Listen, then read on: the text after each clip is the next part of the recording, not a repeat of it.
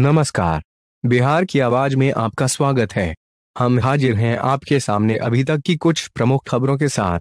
खबर बिहार के समस्तीपुर से आ रही है, जहाँ पुलिस की सुरक्षा दावों को खुली चुनौती देते हुए समस्तीपुर में अपराधियों ने मुसलीगरारी थाना क्षेत्र से करीब नौ लाख रुपया तथा उजियारपुर थाना क्षेत्र से करीब साढ़े तीन लाख रुपए लूट लिए। यह घटना महज एक से डेढ़ घंटा के अंतराल में हुआ है। पहली घटना मुसली घड़ारी से है। जहाँ मुसली घड़ारी थाना से महज 300 मीटर की दूरी पर जगदम्बा पेट्रोल पंप के कर्मचारियों से पिस्टल के बल पर दिन दहाड़े दो की संख्या में आए बाइक सवार अपराधियों ने करीब नौ लाख रुपए लूट लिए और आराम से निकल गए। जबकि जिस जगह पर लूटपाट की घटना को अंजाम दिया गया, वहाँ दोनों तरफ़ सघन वाहन जाँच के लिए पुलिस चौकी भी बनाई गई है। आश्चर्य की बात यह है कि अपराधी दोनों पुलिस चौकी को आराम से पार कर निकल गए। इस तरह से पुलिस चौकी को अपराधियों के द्वारा पार करके निकल जाना बड़ा सवाल खड़ा करता है। घटना के संबंध में प्राप्त जानकारी के अनुसार 2 अक्टूबर को बैंक बंद होने के कारण, दो दिनों की बिक्री के करीब 9 लाख रुपए लेकर बाइक से पेट्रोल पंप के दो कर्मचारी मुसलीगरारी स्थित स्टेट बैंक ऑफ़ इंडिया की शाखा में जमा कराने के लिए निकले ही थे कि, थाना से मात्र 300 मीटर की दूरी पर पहले से पीछा कर रहे बाइक पर सवार अपराधियों ने उन्हें घेर लिया। और पिस्टल दिखाकर रुपयों से भरा थैला छीन लिया और निकल गए। दूसरी ओर उजियारपुर थाना अंतर्गत महिसारी पेट्रोल पंप के पास गुरुवार की दोपहर करीब दो बजे बाइक सवार अपराधियों ने वेदिका फाइनेंस कर्मी के बाइक में पीछे से टक्कर मारकर गिरा दिया तथा बैग में रखा तीन लाख साठ हज़ार रुपया बैग सहित तथा मोबाइल छीन कर फरार हो गया। सूचना मिलते ही पुलिस घटनास्थल पर पहुंचकर मामले की छानबीन शुरू कर दी है।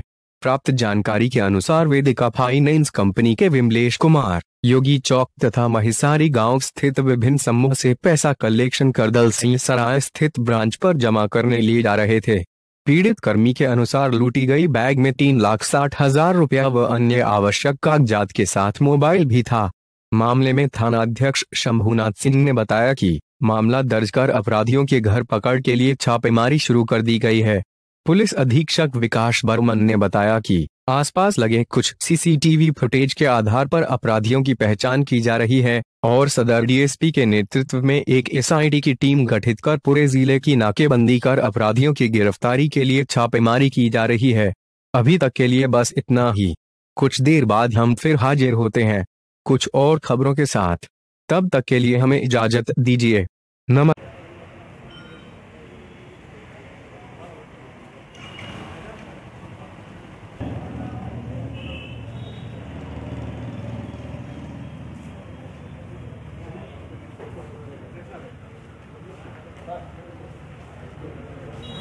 हुआ था? आयो ये पेट्रोल पंप से हम बैंक ले जा रहे थे रुपया।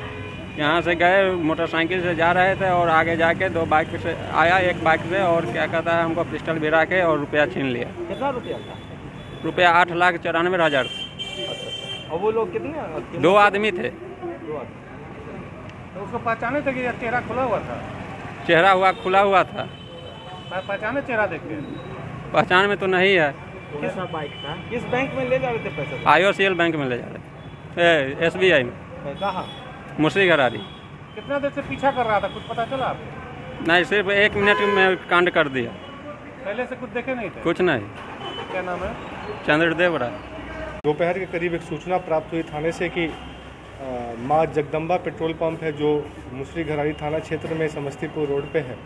उस पर वो कर्मी थे जो दो दिन का पैसा लेके वो बैंक में जमा करने जा रहे थे। रास्ते में एक मोटरसाइकिल से कुछ अपराधी थे जिन्होंने पैसा लूटा है। कुल राशि आठ लाख के आसपास बताई जा रही है। इसको लेके हम लोगों ने सभी कार्रवाई शुरू कर दी है। बॉर्डर सील करके हम लोग जाँच कर रहे हैं। अपराधियों की पहचान का प्रयास किया जा रहा है। शीघ्र ही हम लोग इसका उद्भेदन करेंगे। सर, वहीं उजियारपुर थाना क्षेत्र के महिसाड़ी में भी बैंक से पैसा